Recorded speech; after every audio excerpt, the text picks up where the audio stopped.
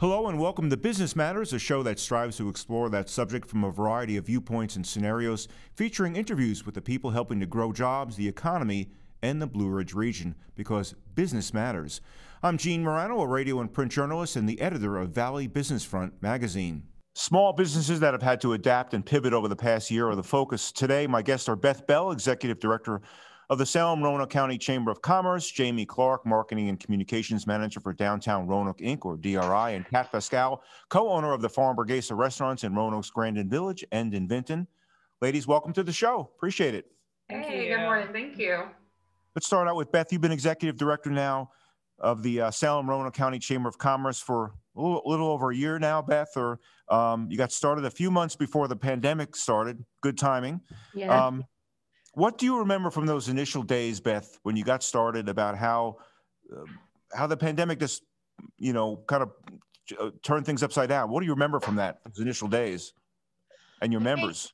Think, um, I think just a lot of overwhelm. Like you know how it just seemed like a huge challenge, you know, to tackle and and how in the world are we going to do this? And then how long is this going to last? Which we, I think we asked ourselves, we're still asking ourselves that, right? But just um, really, I, it was definitely an overwhelming feeling, but then we got to work and it was okay. uh, who are the, talk about real briefly, who are the members of the Salem Roanoke County Chamber of Commerce, Beth? Um, how many members are there and what types of business sectors do they represent? We have about 400 members. Um, it's a variety of Main Street businesses and, uh, you know, Main Street type of businesses, especially here in Salem, but also manufacturers, banks, you know, hospitals, you know, a big variety of businesses. Uh, Jamie Clark with DRI. Uh, you know, if you had to describe uh, how downtown Roanoke shops and businesses, Jamie, you know, responded to the pandemic, um, you know, what's the word or words you would use? And has that been evolving over the year? Yeah, I think so. You know, I think all of us at first were kind of uh, in a state of disbelief, which I, I feel like I kind of still am. Um, but I think that really permeated the businesses and, uh, you know, obviously shutdowns and, and all that sort of stuff, trying to figure out how to um, you know, follow the guidelines that were released at various points. But I, I, think the main thing that we saw businesses do is kind of pivot um, pretty quickly. A lot of them, especially for you know the, the vast majority of our businesses that are in downtown, I think probably around 99% of our businesses are locally owned. So to see um, you know, them very quickly change their models um, as much as they were able to. Um, you know, I think it was uh, a sign of resiliency and and just constantly having to, you know, look at what you're allowed to do and find new ways to connect with your customers. Um, so I think um, it, it was um, challenging. It still is challenging, but I think it was also really encouraging to see so many of them embrace new ways of doing business.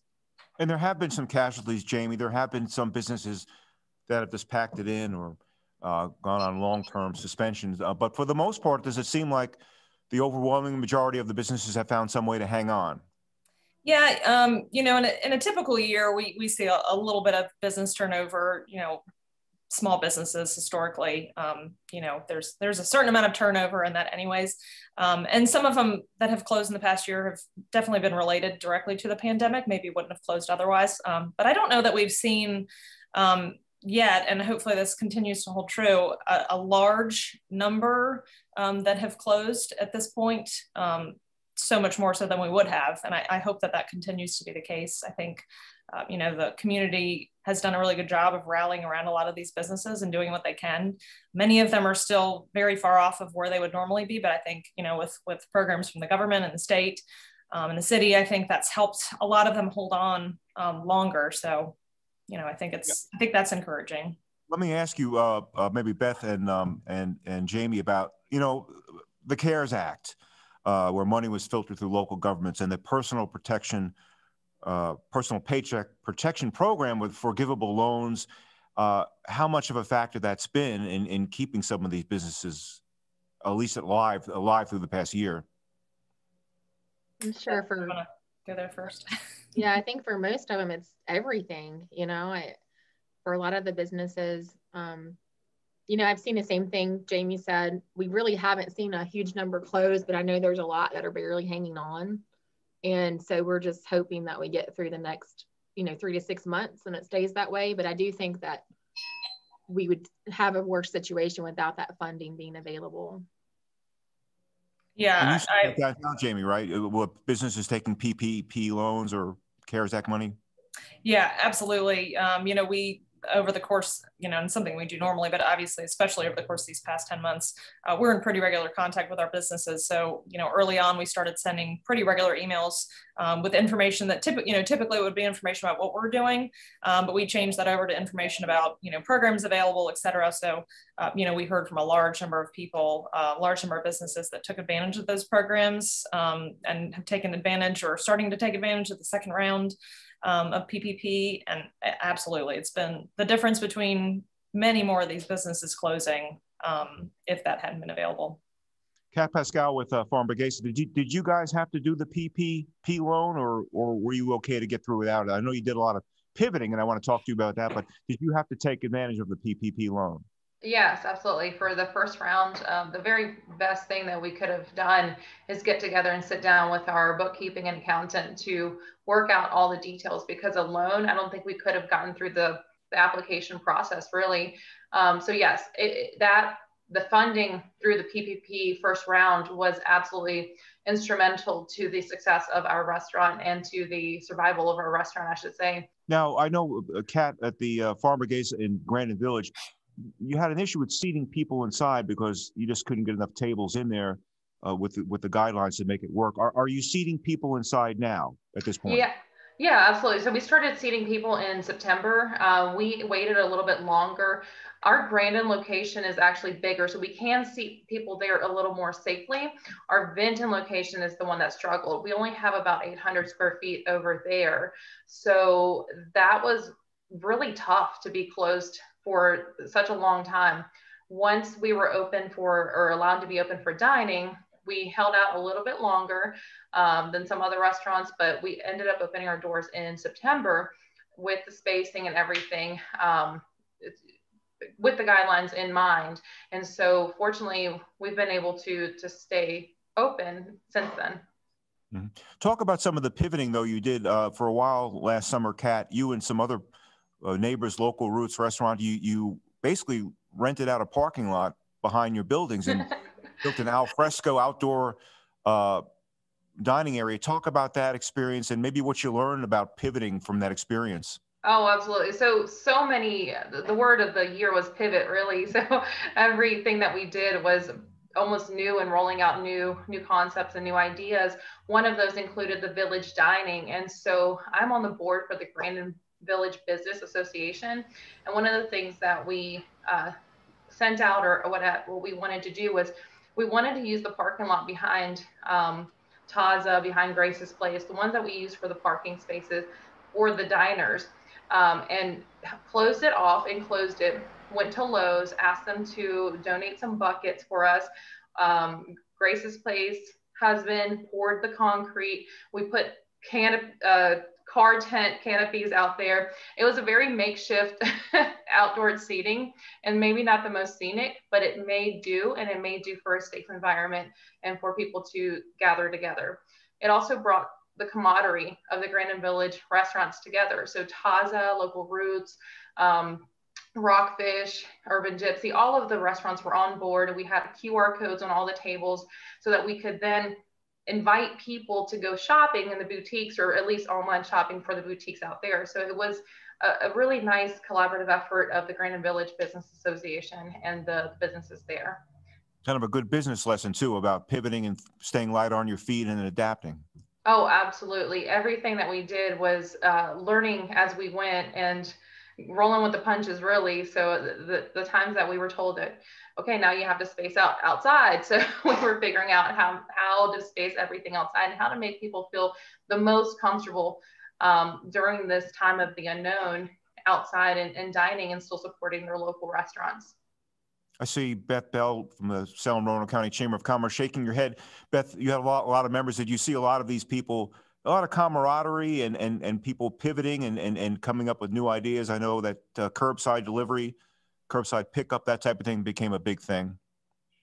Yeah, huge thing. Um, and you know, I think Kat and the Grandin area did such a great job setting an example too of just how to keep things moving. Um, I enjoyed, you know, the outdoor dining. I also think it says a lot, Kat, that you guys are expanding in Vinton despite all of this. So I think that's amazing. Um, and with our members, we definitely saw, you know, people getting creative, people signing up for things like DoorDash and Uber Eats and things they really haven't always wanted to be a part of. Um, restaurants starting their own delivery, retailers starting delivery and and changing the way they were doing things with Facebook live shopping and you know we have we have several retailers in the Salem area that said their year ended up being you know just as good as last year their holiday shopping and things like that so it's just you know I think, I think in some ways sort of because of quite frankly big companies like Amazon, they're more used to shopping online. So if they can shop online with a local retailer, I think they're not as hesitant maybe as they were a few years ago. I know Jamie, um, uh, downtown, you saw some of online shopping. Also saw a lot of takeout and pickup delivery. I know that uh, recently there, they were there were curbside delivery parking spaces downtown. So how much uh, were things like takeout and and shops going online helpful to keeping businesses downtown uh, going? Yeah, I mean, I think it was really the difference maker um, from quite a number of months um, and still continues to be for people that aren't comfortable going in certain places or you know obviously we don't know at, at what point restrictions may need to change um, so making it easy for people to come to a pickup order, whether it's you know at a restaurant or at a retailer, which is not really something we had ever seen before. But a number of our retailers um, were offering curbside pickup, delivery, as Beth mentioned, um, which is really interesting to see some of these smaller business do. But um, yeah, the you know, the, one of the things that we hear obviously frequently about downtown is parking. Um, and I'm of the opinion, um, and in my experience here, is it's really more of a, of a perception issue um, that there's no parking. I think um, if you're comfortable coming down here, uh, it's it's pretty easy to find parking. So that's something that we work on. But I think the curbside spaces have um, helped to eliminate that barrier for a lot of people. You know, we have 30 spaces, 15 minute parking. It's easy to pull in, grab what you need, and go. Um, so I think that added convenience has been um, a big boost for the businesses that are offering takeout um, and curbside pickup. Kat, how much did takeout and, and delivery, if you did delivery, mean to your business in the throes of the pandemic? Yeah, so in March, we had to close down our indoor dining. And unfortunately, uh, Jimmy is very, um, very optimistic when it comes to these type of things and, and started creating um, ideas of how to create uh, in-house delivery.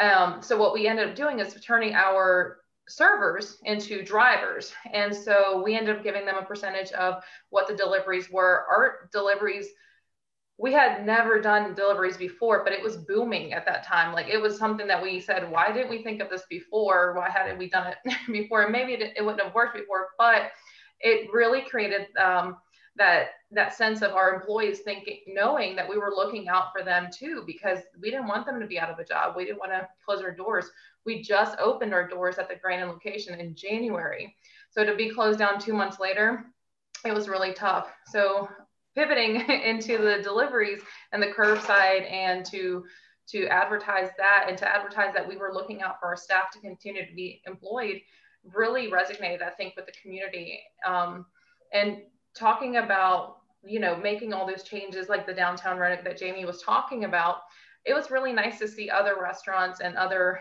boutiques and other um, brick and mortar places come up with different things that they could do. Home burguesa kits were something that we did uh, which was create or make your burger at home those ended up selling really well i know that cocktails were uh, really nice things to go to in the downtown restaurants those were some really awesome things to see and i think that like to go clothing from the boutiques in downtown. We're really like, as a business owner, I'm always looking at other business owners and being admi- or admiring them and being inspired by them. So just seeing those things work during the pandemic and continuing to work is just a really nice thing. I uh, and I wanted to bring up. Beth brought it up, uh, Kat. I wanted to bring up that you are uh, in the, in the process of expanding in, in, in Vinton. So that's, I guess you're bullish about the next, the next year or so, or bullish about business in the next six months. I we're very optimistic about what we what we foresee for Vinton. Um, Vinton is a, a, growing community and a growing town. They've got plenty of other businesses coming into Vinton, so I just see Vinton booming uh, during this time and in the next few years. So for us to have been able to purchase the lot next to us with the contingency that we will be um, doing work to it and construction, it, it's it's really it's a great thing for us. Um, because we'll be able to seat more people too. So we'll be able to seat about 40 people at, at that location and also serve beer and wine. So you're going to be building from the ground up? Yes. Uh, well, well, actually, we're expanding, and and our cha- our plans have changed a little bit just because of the soil and the surveying that's going on right now. So there's a lot of talks with the city or the town the architects and the surveyors. So some things might be changing, but nonetheless, it's going to be a patio style on the outside, mm-hmm. on the side of the building.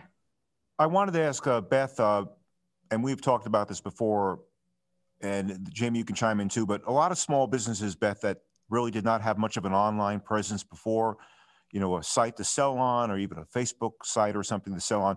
Are, are, are did a lot more of them by the end of the year or the middle of last year see the, the need for that? And is there still a lot more training that some of these people need, need to do or, you know, seek help in getting an online presence, a commerce presence? Yeah, I think so. What I what I've seen a lot is, you know, not really having e-commerce sites, but doing more social selling and um, you know they'll do the difference in you know amazon and a small business owner is that that small business owner will walk around the store with you on facetime dressing you picking out the perfect gift. They'll do whatever it takes to get you what you need. And um, i saw a lot more of that than a real like e-commerce setup. And that was you know i think for a lot of people um, technology is a bar- barrier. They don't really want to have to go to a real online selling site, you know, a real e-commerce site. So it's been, it, you know, it's that's something that for me at the chamber, and I know um, the Small Business Development Center also does a lot of classes, but on that type of thing. But it'll be interesting to me to see if they embrace more of a real e-commerce setup um, as we, you know, continue into this pandemic and not being at full capacity. But most of the most of our members and, and other retailers I know, it seemed like they did a lot more of just personalized shopping and getting on Facebook. I did see a lot of people join Facebook that were not doing much on Facebook before. Um, and that was a leap, you know, for them with technology. So they're they're not quite there with the e-commerce sites. But we did help a lot of people set up things like at least electronic gift cards so that if you know they you know people wanted to support that local business, they could at least get online and get that pretty easily. So um, that's what I saw. Jamie, talk about town. Um, she mentioned gift cards. You've done a couple of gift card things. Uh, uh, when this airs, the, the, most recent one will be over. But as far as things like gift cards and two for one uh, gift cards, things like that, uh, have they been successful in, in in in maybe people stepping up to buy these things to support downtown merchants? Oh, absolutely. We um, we did one back in the spring. I think it was like April or May, where we bonus ten dollars on a twenty five dollar downtown gift card. Um, and our, our gift cards allow you to, to spend that money at, at any business that accepts, um, that's been signed up and accepts the gift card, which is a pretty, a pretty large list and always growing. Um, so that was huge. We, have just come off of um, finishing another uh, double bonus, which went extraordinarily well as far as the response. Um, our challenge with that is, you know, the gift cards don't expire. You know, how do we get them to, you know, they, they're very well intentioned. They want to buy these gift cards and spend them downtown, but uh, I don't want them to spend them downtown in July, August, September. I need them to spend them downtown now because this is when the need is for these businesses. Really, it's um, so the the latest round that we did, we we basically incentivized um, with a gift certificate that has a deadline um, to encourage people to spend you know at least a portion of that money within the time frame that we need them to. Um, and I think that's been huge for the businesses. It's just a nice way to um, add an influx of, of funds downtown. It's an easy thing for consumers to go online and purchase them, and then they come down here and use them at um, any number of businesses. Um, and it's mm-hmm. you know it's it's easy for us to implement as long as we can find the funding for it, um, and it, it's a boost for the businesses. So I, I think that's been very helpful. Speaking of pivoting, uh, Jamie Clark with DRI, I know you guys had to pivot with Dickens of a Christmas. It wasn't the three Friday nights in December. It normally is. It, it was and it was 25 days of Dickens yep. a lot of extra lighting downtown, a televised Christmas tree uh, lighting ceremony instead of encouraging people to come out. Uh, I'm sure it wasn't the same, but the, the, did the merchants downtown appreciate the effort that DRI made uh, to get people downtown to at least see the lights and maybe come in their shops? Absolutely. You know, we heard um, pretty pretty clearly from the businesses once we started um, talking Dickens. You know, typically we're we're planning Dickens. We start that process in you know June. It, it takes a while to pull together. Um, so you know when we started talking about it internally you know is what what can we do? And things are changing constantly. So what can we plan that we feel confident can move forward uh, regardless of what restrictions are changed? Um, so we heard pretty clearly from our businesses when we reached out to them that they really needed us to do something and to, you know please don't cancel it. So we were committed to to finding a way to move forward um, and and really kind of you know spreading it out with the 25 days of dickens allowed us to um, still drive people downtown, but to let them really kind of choose when they came um, and interacted with downtown and the businesses in whatever way they felt safe. So I think, um, you know, the feedback that we got from the businesses and the, and the, public at large too was overwhelmingly positive. You know, we added the Elf on a Shelf adventure, uh, which was incredible. We're definitely going to bring that again. Um, that allowed people to, you know, over the over the course of um, the 25 days, they could go inside these retailers and, and find these elves. We gave away a thousand dollars, um, and we heard from many of those participating businesses um, that so many people came through the doors and said, "I didn't even know you existed. Um, you know, purchased something or mm-hmm. came back again. So I think, you know, for us, that was really the goal is just to get people down here, uh, make sure they feel safe um, and get them shopping, get them dining, you know, whether it's, uh, you know, a takeout order or whatever. So it was, it was very positive. Um, we were happy to be able to do that. And I, I, think the businesses, you know, felt, felt the love from the community as well. Mm-hmm. I have a few minutes left. I wanted to talk to, uh, maybe Beth and Kat about networking. Beth, I know this is a big thing with you. You're sort of the networking goddess in the the valley. Uh, the big thing. How important is networking for businesses? Maybe, and I know that uh, Kat Pascal, you're involved with the Latinas Network, which I think is uh, Latina-owned uh, small businesses. How important is that networking? Maybe especially for women-owned businesses. How important is it to talk to each other and, and share information? It's extremely important. it's it's it's instrumental in into uh, creating uh, maybe the desire, the want to keep pushing forward in, in businesses. Um, when you have somebody who's also maybe a mother or struggling through the same things, just being able to talk to somebody and be in the same network as that woman, it makes all the difference sometimes.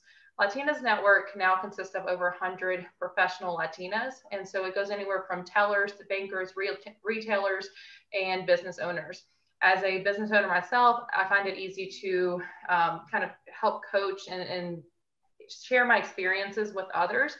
Uh, but there are other women in the group that are being highlighted, like retailers in the area. Um, the real estate market is booming right now. And sometimes people don't know who to go to that they can trust, or they're just Spanish speaking. Um, by highlighting these women, we're now bringing them to an, another level of of their business.